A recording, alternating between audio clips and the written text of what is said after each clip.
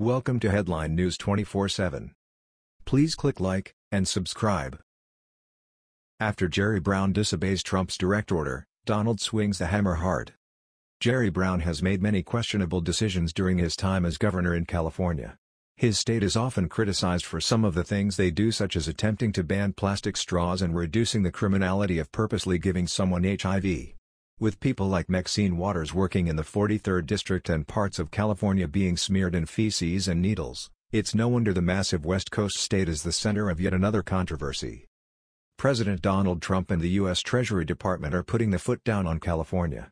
No more cutting corners or finding loopholes for them. It appears that California was trying to avoid the new $10,000 limit on state and local tax deductions. They were attempting this by claiming taxes are charitable donations. Not so fast said the government. Trump originally promised that the Tax Cuts and Jobs Act would have a tax reform package that cut some of the tax burdens for the average family of four who earn $75,000, cutting the burden of taxes by a reported $2,000. It also was supposed to increase the household income by about $4,000 through various cuts on business. The business corporate tax rate was 35%, but then slashed down to 21%, allowing companies to invest more income on their product and employees. Breitbart reported further, stating, To fund part of the resulting revenue loss, the Republican-controlled U.S. House of Representatives limited federal deductions for state and local taxes, SALT, to $10,000 for the first time. The move hammered high-income taxpayers in Democrat-dominated high-tax blue states like California, Illinois, New York, and New Jersey. According to the Tax Policy Institute, the first-time ever cap on SALT deductions was expected to generate $36.1 billion more in federal tax collections in 2018.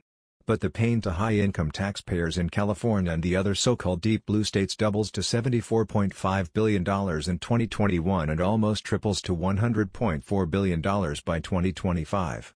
Four days after Trump's tax reform took effect on January 1, then State Senate leader Kevin De Leon, de Los Angeles, proposed SB 227 Education Finance, Local Schools and Colleges Voluntary Contribution Fund to allow any Californian that had more than $10,000 in state and local tax deductions to make a dollar-for-dollar charitable donation to the California Excellence Fund for a dollar-for-dollar state tax credit to avoid the SALT limits. De Leon, who is running for U.S. Senate, tried to justify draining federal taxes to the San Jose Mercury News. The Republican tax plan gives corporations and hedge fund managers a trillion-dollar tax cut and expects California taxpayers to foot the bill, he added, we won't allow California residents to be the casualty of this disastrous tax scheme. Although federal law allows charitable deductions for overpayment of taxes to those each year that want to donate to help pay down public debt or maintain a park under IRC Section 170, the contributions must be solely for public purposes, but Treasury Secretary Steven T. Mnuchin released a statement on August 23 indicating that California's charity was a scheme to avoid paying federal taxes. Congress limited the deduction for state and local taxes that predominantly benefited high-income earners to help pay for major tax cuts for American families. He added, the proposed rule will uphold that limitation by preventing attempts to convert tax payments into charitable contributions. The new U.S. Treasury proposed rule, according to The Hill, would only allow taxpayers to claim the federal charitable deduction under quid pro quo guidelines for the amount of donations that exceeds the amount they received in tax credits.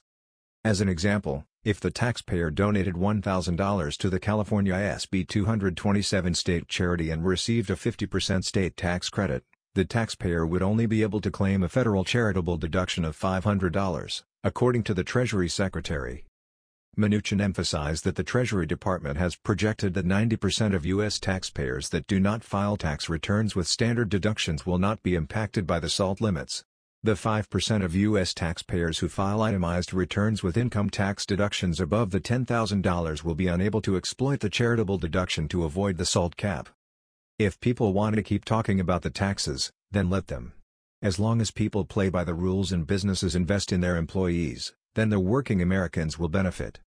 If Trump cuts the tax rates from 35% to 21%, then that's amazing and gives businesses 14% of their income back to their company. That was money that was taken by the government, proving that taxation is indeed theft. There's no reason why a large business should ever pay more than a third in taxes. In fact, no one should. If you live in a Democrat-controlled city, then what are your taxes like? Does your mayor tax you like crazy? Mine does. Philadelphia's Mayor Kenney seems like he taxes his own taxes sometimes. We have a sugary drink tax in Philadelphia that has put people nearly out of business, hurting the small business owners who run corner stores in the city. We can't complain that taxation is theft and then not be happy with a 35% to 21% tax break. Anyone who isn't happy with that might need to rethink their train of thought. Getting back 14% more of your income means you can spend less time finding loopholes and more time improving your business. That was the news. We thought you might be interested in knowing about this. Please click like and subscribe. Thank you.